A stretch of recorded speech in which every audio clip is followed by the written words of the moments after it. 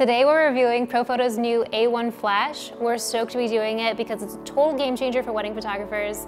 Um, right now it's available for pre-order in the US and it costs $1,000. Two things before we start. One, this is a sort of biased review because Profoto flew us out to Sweden to their headquarters and they gave us two free flashes, what they call the world's smallest studio light. However, they didn't ask us to make a video and they don't even know that we're doing this. We're just really stoked on these as wedding photographers. The second thing is this flash is not for everyone.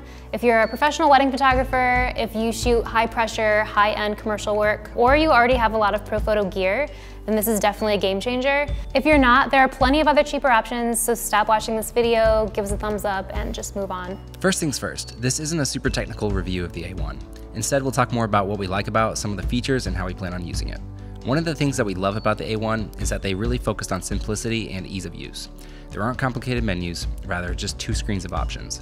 Syncing multiple lights together is as easy as selecting the channel and the group. It has the air remote built in, so if you have other Profoto lights, you can use the A1 to trigger them. The A1 also comes with a dome diffuser, which is similar to our MagSphere we use with our Canon Speedlite.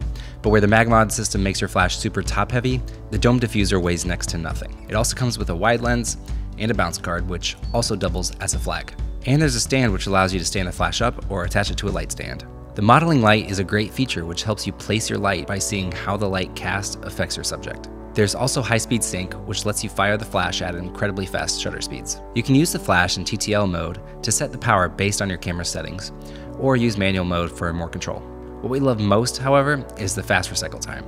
There's so many times halfway through a wedding reception when our speed lights have to take longer and longer in between flashes and we end up missing moments like bouquet tosses due to flashes not firing. With the rechargeable battery, it has a super fast recycle time and lasts a lot longer than AA batteries. Since we tend to only use artificial light when we have to, we tested the A1 out as a subtle fill light for a couple lifestyle portraits. We wanted the flash to fill in some shadows while maintaining the natural light look that we like. We also just shot a wedding this past weekend where we got to use our A1s for clients for the first time. All in all, we're super impressed with this light and we're more than excited to replace our Canon speedlights with the A1s.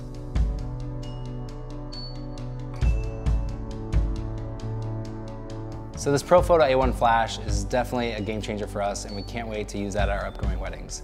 But as we said, it does come at a price and we already know it's not for everyone. You don't have to tell us that in the comments section. But go ahead and pulverize that like button and subscribe if you haven't already and we'll see you next week.